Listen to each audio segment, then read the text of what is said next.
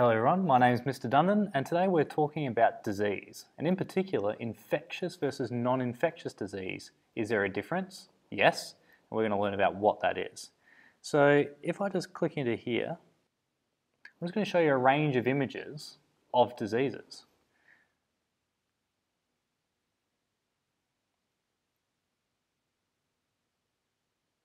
Some of them infectious and others not. So what is the difference between them? Before we get into that, let's just decide what a disease is. And a disease is really anything that uh, causes some issue with the body, either to the way it functions or to a specific structure. And that particular disease will have some specific symptoms to go along with it. So it harms the body in some way, it's ongoing, and it has specific symptoms. So that's a disease. Now, not all diseases have to be contagious. Some can be non-contagious, and that's what we're looking at today. But what we've got to be mindful of, it's just not an injury. So if you sprain your ankle, that's not a disease.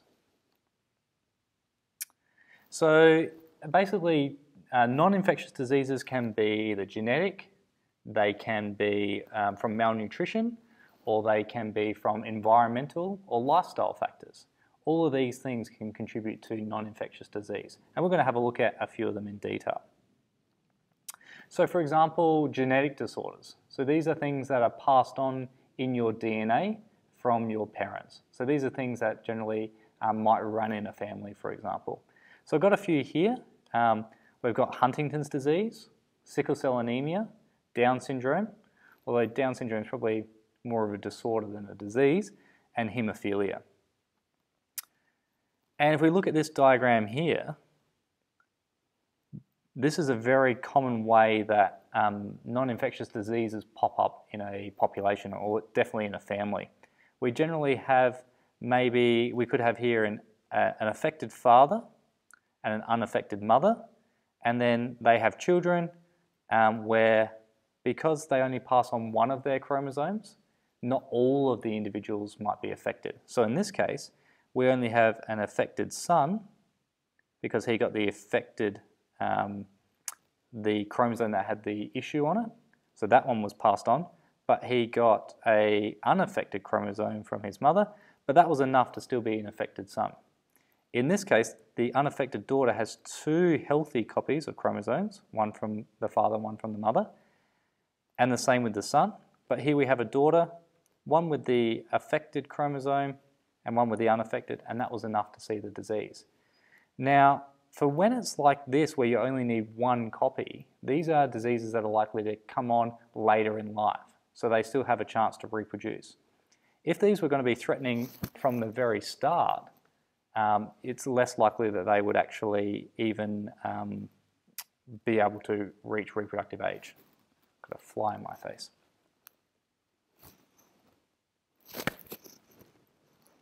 Got him. Okay, what's more likely is that um, you, if you have just one copy, that you don't get the disease. And so you actually need an affected father and affected mother to be carriers to then get the disease. So that's probably more likely. But even so, these are non-infectious diseases passed on through genetics. Malnutrition. This is just simply a diet issue. So I've got two uh, examples here, uh, kwashiorkor, can never say that correctly, and marasmus. These are just two uh, nutrition disorders and generally happens in third world countries where they don't get a balanced diet. Um, you can see that you get that distended abdomen, scaly skin, some swollen ankles and things like that. And they're simply just from not getting enough protein and enough calories through carbohydrates and things like that. And again, in, in this case on the right, um, we can get severe muscle wasting, wrinkled skin, hair loss, and like an old person's face. Again, just nutrition, not you can't pass it on. This one's scurvy, so you remember the pirates and things like that. Uh, they don't get enough vitamin C and don't get enough things from fruit. They get these uh, gum disease and some other issues as well. It's quite nasty. And a goiter, which is basically an overactive thyroid gland that comes from a iodine deficiency. So all of these are from nutrition. Then we've got environment. So these are things like toxins, um, things like radiation. So even uh, cancer, skin cancer, is caused by sun radiation. That's a disease, but non-infectious. And allergies. So allergies are basically a body's response to something that doesn't actually harm it. So it's actually the immune response, the inflammatory response from the body that actually causes people harm rather than the actual um, thing causing the allergy response in the first place, like nuts, pollen, those types of things. So again, disease, but non-infectious. And so I've got a, a, list here that you can pause the video and, and, copy some of these examples, but we've basically got skin contact, ingestion, injection, and inhalation. These are all ways that you might come exposed, become exposed to an allergy, and some of these allergies develop later in life as well, which can be quite problematic. And the final one, lifestyle. So this is all about the decisions that you're making, diet, exercise, what you put into your body, alcohol, um, smoking, those types of things. So I've got a few listed here, obesity, um, cardiovascular disease, so issues with specifically the heart and the blood vessels surrounding the heart, diabetes, um, pancreas, um, producing, struggling to produce insulin or the receptors responding to insulin are no longer responding in the way that they should and that's generally from overeating, and cancer as well. So let's let's talk infectious disease. Well, infectious disease is basically a disease caused by the spread of microorganisms, and I've got a picture of uh, the most common ones here. So we've got parasites, protozoa, fungi, bacteria. These are all um, cell, so these are all living microorganisms, and then we have a couple of non-living organisms viruses, and prions. So prions are basically mutated or not correctly assembled proteins that have undesirable effects. So the most common ones that you'll come across when you go to the doctor are going to be viral, and we actually have really nothing um, to help with viruses except for vaccinations. Um, but 90% of the um, colds and flus that we get are from viruses.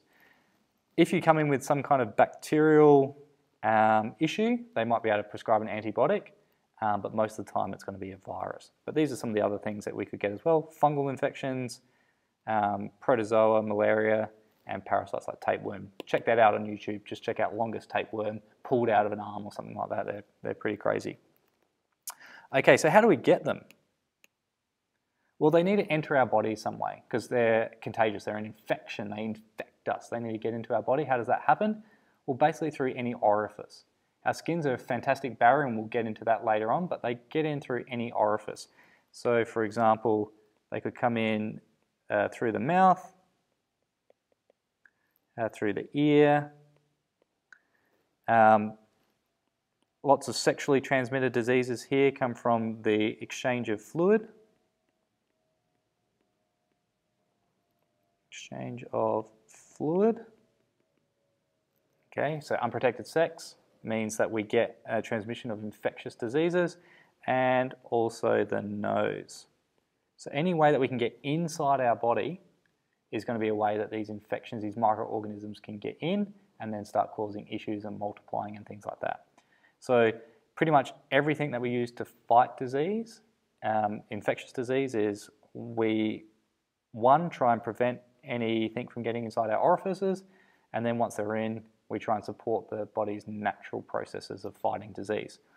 So hope that helps. That was a really, uh, hopefully a really good run through of infectious versus non-infectious disease and how they come about. And then we're going to tackle exactly how our body fights these in later videos. So if you like the video, give it a thumbs up and make sure you subscribe to get more videos coming up. Mr. Dundon, enjoy. Bye.